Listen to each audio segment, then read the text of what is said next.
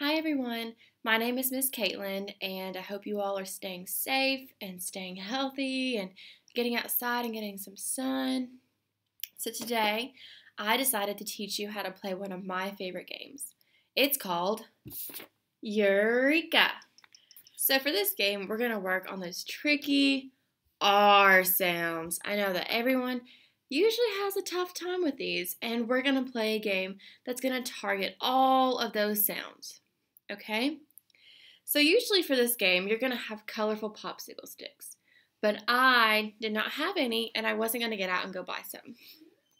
So today, I'm going to teach you how to play one of my favorite games using crayons and markers, okay? So for this game, you are going to pull out crayons out of a bag.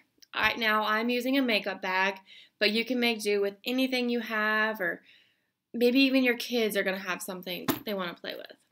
So there are two main colors that you want to get. So for the purple, whenever you pull a purple magic marker or crayon, this is your magic color. When you get this, you're going to say, Eureka! And when you find one of these, you get to gain two more popsicle sticks or crayons, whatever you decide to use. But the tricky part is when you get a red one. The red ones mean you have to take, you give all of your crayons away, but you say, really bad red, and pull that R sound as far back as you can. Okay, and you're you may be wondering about all the other colors. All of the other colors that you pull out of the bag are called keepers. Okay. So I thought maybe we could play a couple rounds together. What do you say? Sounds good to you too? Oh, I'm so excited. Okay. My eyes are closed. And I'm to pull one out of the bag. Ready? Hmm. It's a black. So we say keeper.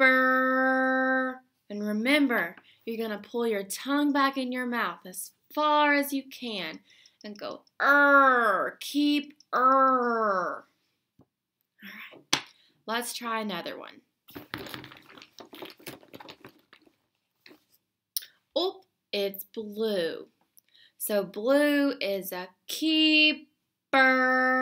Remember, pull that tongue back. You can do it.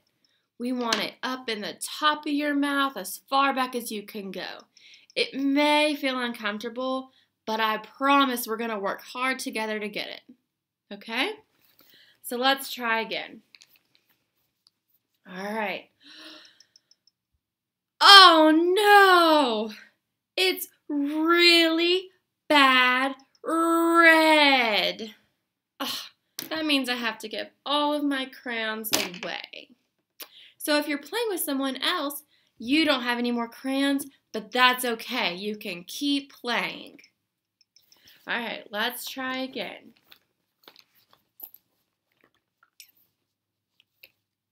Oh no, another red.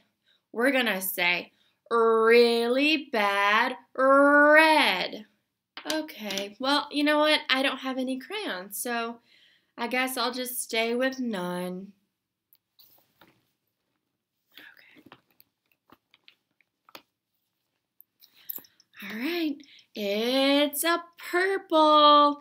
This means we say Eureka. Remember, it's in the middle of the word. So it's going to be a little weird. So we're going to pull our tongues back. Eureka! You all are going to do marvelous with this. But before I go, whenever you get a Eureka, remember, I said it's a magic color. This means that I get to gain two more colors from the other players in the game. So this is one of my favorite games to play with all of my students that I've seen. Let me know if you like it or if maybe I did it wrong. If I did it wrong, let me know how I did. But if you love it, please, please, please let me know. Comment, post your pictures, tell me why you loved it. Hey, we'll see you all again soon. Bye.